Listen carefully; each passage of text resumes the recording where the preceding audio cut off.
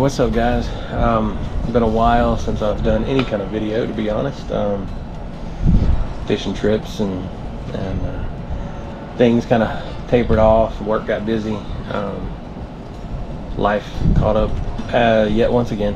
So, so this video is uh, just catch up on Sarah and what's going on with Sarah. So um, back at the um, I can't remember exactly, maybe November, December-ish. Um, we had some scans done, some checkup scans. We were watching another tumor that Sarah had in her brain. Uh, and then fast forward to, I think, March. Uh, we did another scan in March, and it had grown significantly uh, to the point that uh, they 100% said we have to we have to remove this. Um, so those of you who um, may not know, let me just a recap. So this is 2024.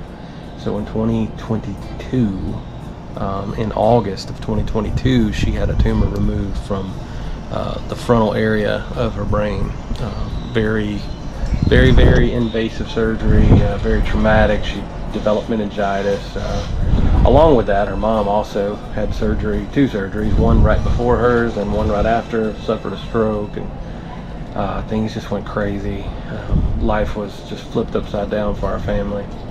Uh, it was pretty insane. Uh, pretty, pretty. I hate to call it a wild time, but it was a wild time. I hope the wind's not too bad.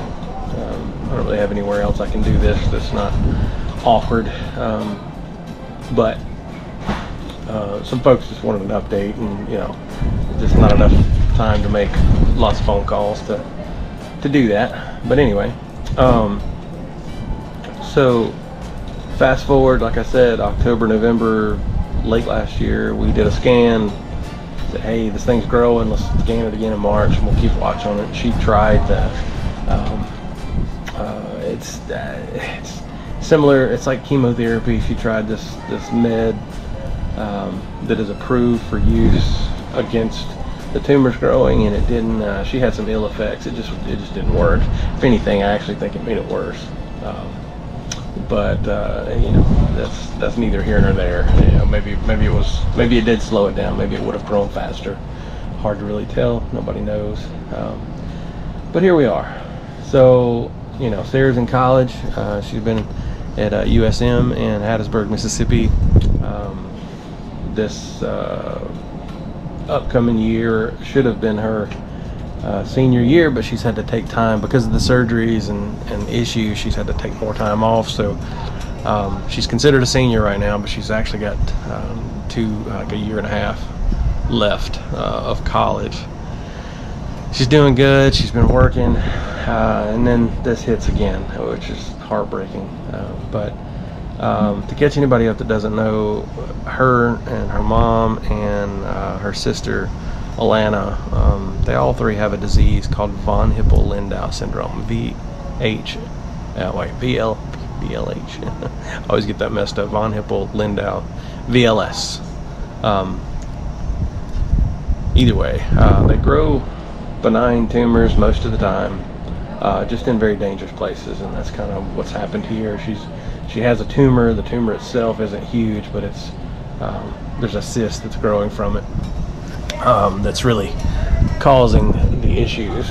Um, so yeah, so I normally would have done this way ahead of time, and, and she even asked me to because she she actually um, sorry about the wind if it's bothering the mic. It you know it's hard for her to talk about it. It's hard for her to tell people what's going on. A lot of people ask a lot of questions. And, and she's asked me to make this video um, actually well over a month ago. Uh, but I just I hadn't been able to. Um, we we had a hard go uh, two years ago and this is almost like a PTSD type situation. It's like we're just rolling back into it. Uh, one part of it is uh, yeah we're all stronger. Um, we're all stronger because we've been through it. Uh, but at the same time you know you don't you don't want to go through it again um, but today is uh, the final day. Her pre-op, all her pre-op stuff is done. The last thing to do now is um, talk to uh, admissions. I have no idea what that guy is saying, so sorry if he's saying something in some other language. I don't know what it is.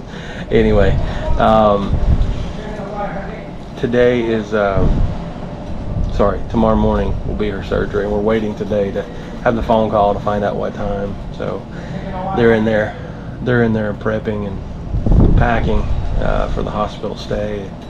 Should be you know, roughly, they don't know for sure, obviously. No one ever knows, but um, should be like a five hour surgery if everything goes good, but they don't really know until they get in there how long it's going to be. Um, so early in the morning, we're going to dive into the hospital and, and um, you know, get started. So this is where we are.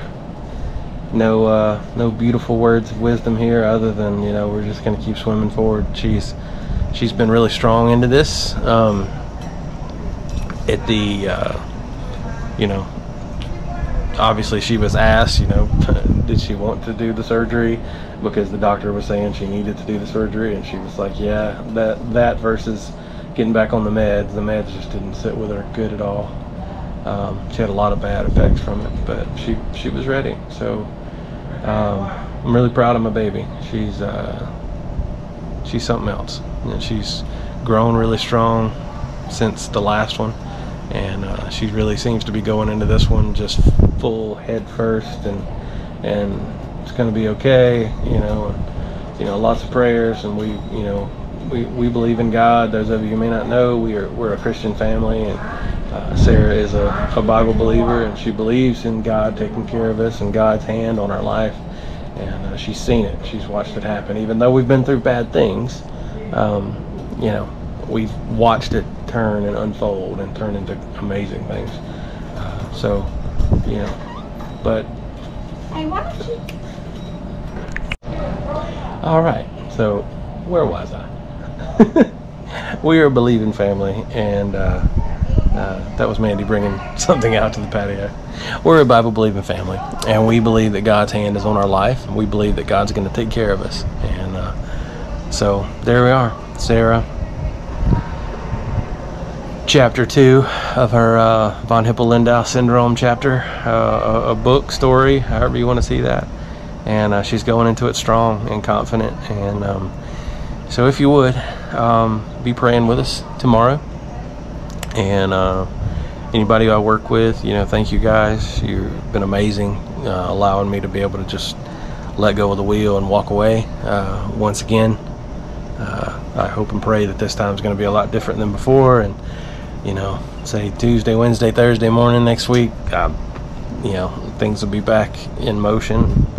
They're talking about um, the doc, the surgeon was like, you know, all goes well, two, three weeks, and she'll be fully recovered. So we're hoping to have her home uh, before next Tuesday uh, in her own bed. So been taking extra precautions. We've been quarantining. We've been, you know, sitting here at the house. I haven't I haven't went into the office, which we had a storm come through and messed our offices up. So uh, there was that. But yeah, so if you will, be praying with us tomorrow and appreciative of everything. Um, we don't need anything. Uh, Rob and Michelle, uh, our, best friends, are are uh, they're gonna get Trixie and take care of her for me while, over the weekend, so I don't have to worry about that. And I'll be bouncing back and forth. Mandy will stay at the hospital with Sarah. yeah, just got a plan in order. We don't we don't need anything but prayers. Um, just need our our believers and uh, and our our closest to uh, to really just put some thought and put some words to God to to keep her safe. Uh, I know we can. So, all right. Well, there's our update. I wish this was something nice to talk about, but it's it is what it is. So, God bless you, and uh, appreciate everybody. Later.